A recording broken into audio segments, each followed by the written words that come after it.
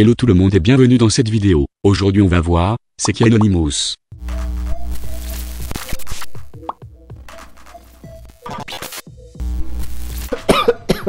Ouais, je vais pas faire toute la vidéo comme ça pour être honnête avec vous. Il fait chaud en dessous et je suis pas coiffé, donc je vais mettre une casquette.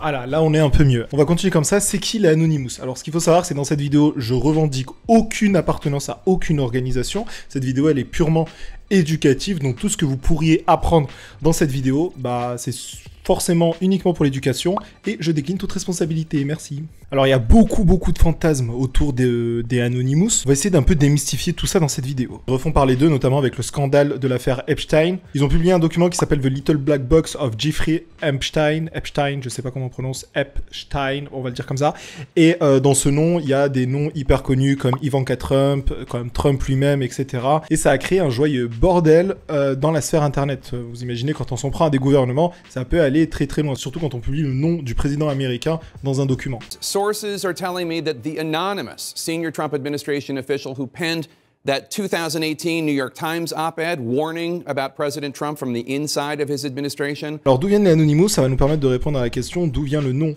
Anonymous? Alors le mouvement Anonymous, il serait né sur différents forums, différents chats, notamment le forum Forchamp, qui permet de partager des textes, des images, des vidéos, sans forcément avoir besoin d'un mot de passe et d'un compte. Donc le site est toujours actif, on y trouve un peu tout et n'importe quoi, c'est un peu un ancien forum Reddit, si on peut dire ça comme ça. Donc entre 2003 et 2008, il y avait beaucoup de messages sur le forum qui avaient pour but de polémiquer autour euh, des libertés qui étaient de moins en moins euh, respectées par les gouvernements ou même de moins en moins de transparence par les entreprises. Alors tous ces sujets de liberté, d'égalité, de sécurité ont été débattus beaucoup beaucoup sur Forchamp, mais pas que uniquement sur Forchamp. On a beaucoup débattu aussi sur des channels, ce qu'on appelle des channels IRC. Donc par exemple, un des plus connus, c'est d'utiliser XChat en utilisant par exemple le réseau Tor, Tor, XChat, etc. Tout ça, on commence à arriver dans ce qu'on appelle le dark web. Donc c'est l'autre côté de l'internet.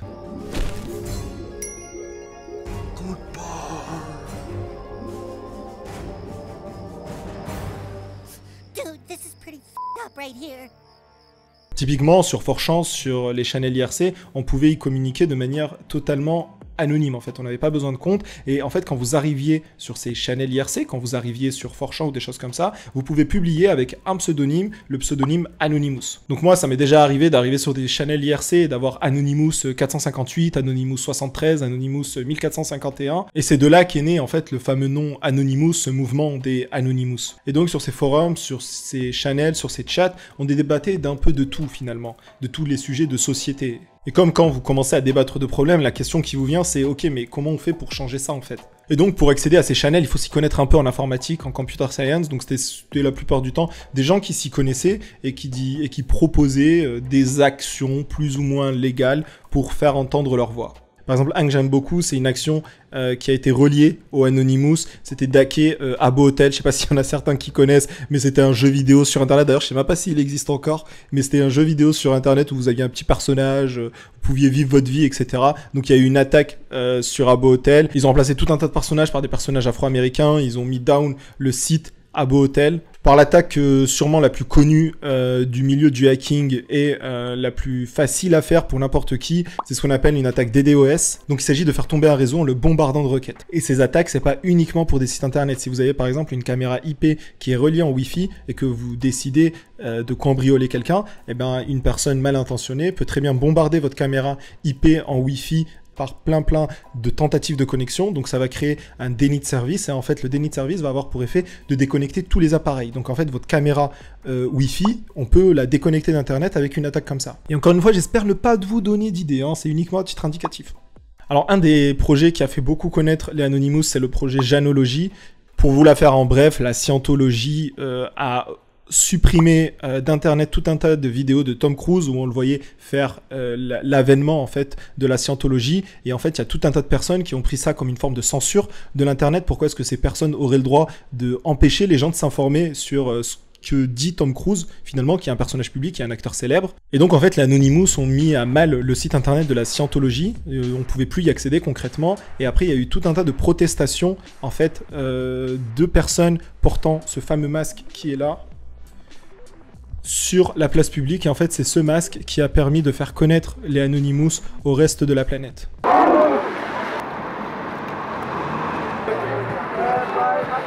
Alors, ce qu'il faut savoir, c'est que ce masque-là, il vient de, d'ailleurs, il est marqué ici, de V for Vendetta. Je sais pas si on le voit bien. Là, là.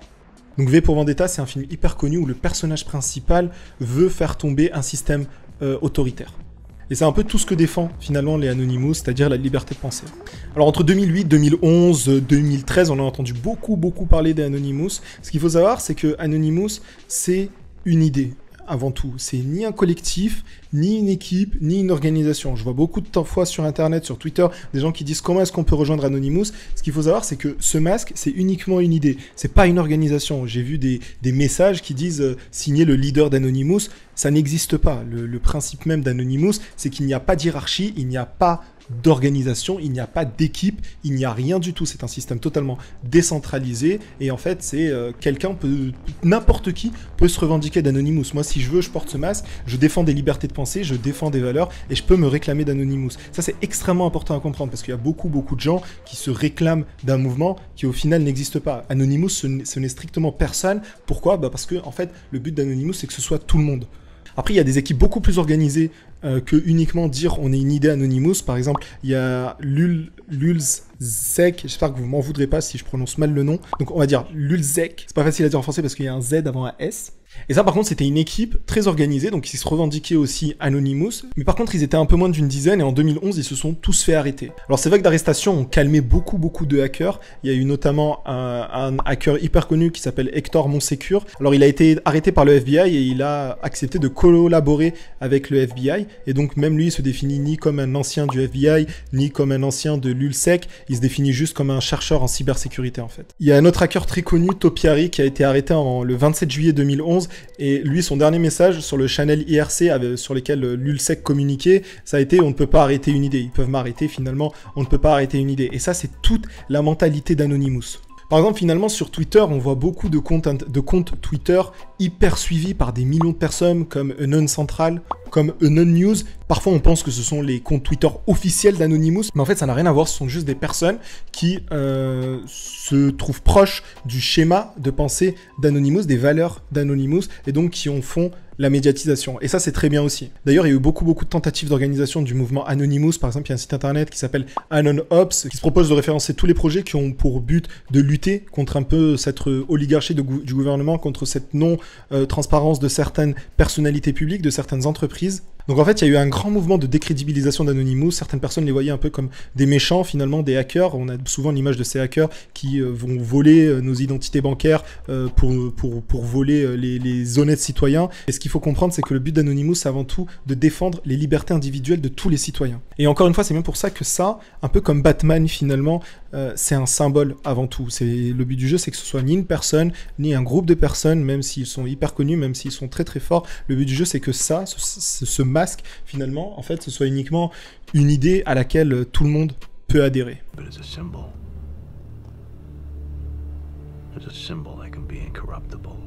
Et en fait, finalement, tout le monde peut porter ce masque du moment que vous êtes là pour défendre des libertés, du moment que vous vous liguez contre des actes racistes, par exemple, que, par exemple, que vous êtes contre le Ku Klux Klan, que vous êtes contre ces morts horribles euh, des personnes noires aux États-Unis par la police, que vous êtes pour la liberté individuelle de chacun, du moment que vous adhérez à ces idées de liberté sur Internet, de liberté de penser, de liberté des individus, et que chacun au final est maître de sa propre vie, et eh ben en fait vous avez déjà rejoint le mouvement, et félicitations, euh, bienvenue parmi les Anonymous. Donc voilà, j'espère que cette vidéo vous a plu, j'espère qu'on a pu aborder un peu certains thèmes. Le but du jeu de cette vidéo, c'était vraiment de démystifier euh, Anonymous, de arrêter de la considérer comme une organisation. C'est une idée avant tout, une idée qui j'espère va pouvoir se répandre parmi euh, la plus grande partie de la population. C'est pour ça que j'encourage beaucoup euh, tous les gens qui sont derrière ces comptes Twitter à faire du marketing, etc. C'est très très bien parce qu'en fait ça fait connaître la cause. Donc voilà, et encore une fois, n'oubliez pas, il faut rien faire d'illégal, tout ce qui est illégal est puni par la loi, et ça, c'est pas très gentil. Enfin, c'est pas très gentil de faire des choses illégales, pas que ce soit puni par la loi, au contraire. Moi, je remets ça, avec une casquette, je sais pas si ça va passer. Ouais, on va enlever la casquette, c'est mieux. Et je vous dis à la prochaine, toujours pareil, dans une prochaine vidéo. Bye bye, portez-vous bien.